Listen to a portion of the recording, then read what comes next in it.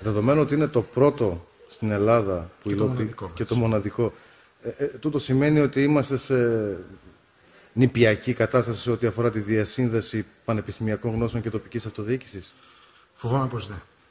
Φοβάμαι πως δεν. Και τι πρέπει να συμβεί κατά τη γνώμη σας, Θα πρέπει το Πανεπιστήμιο να σπάσει το στεγανό του και να πλησιάσει την πραγματικότητα που υπάρχει γύρω του και από τη άλλη μεριά η τοπική αυτοδιοίκηση να είναι και αυτή ανοιχτή στη γνώση που μπορεί να προσφέρει το Πανεπιστήμιο.